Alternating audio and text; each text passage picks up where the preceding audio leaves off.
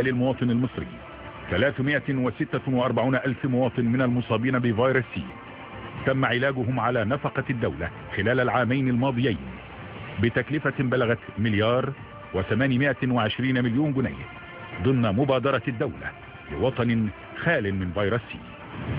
القاهرة مدينة الألف عام تضيق بسكانها وتكتظ بالمباني والمنشآت الإدارية والحكومية. فعلى مدى عقود طويلة كان إنشاء عاصمة مصرية بديلة حلما بعيد المنال. وأخيرا أعلنت القيادة السياسية قرارها الجريء بميلاد عاصمة إدارية جديدة في قلب الصحراء. خلايا النحل تواصل العمل في صمت بإنشاء أعمال مرافق وطرق ومحاور العاصمة الجديدة والتي تقرر أن تشمل حيا حكوميا يضم مباني رئاسة الجمهورية ومجلس الوزراء والنواب ومقرات 12 وزارة إلى جانب حي سكني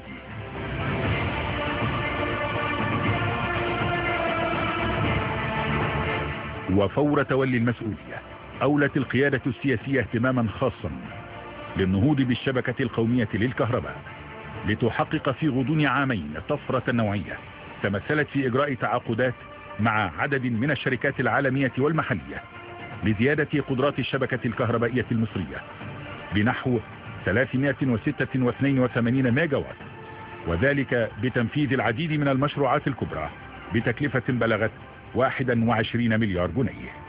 ونجحت الخطة العاجلة لزيادة القدرات الكهربائية على الشبكة قبل حلول صيف 2015 مع مراعاة الطلب المتوقع على الطاقة بنسبة 7%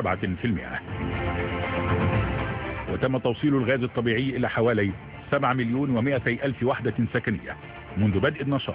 وحتى مارس 2016 وبالكشف الجديد لحقل الغاز الطبيعي في البحر المتوسط تم تأمين احتياطيات أصلية تقدر بحوالي 30 تريليون قدم مكعب من الغاز الطبيعي. ومن المخطط بدء الإنتاج من هذا الحقل قبل نهاية عام 2017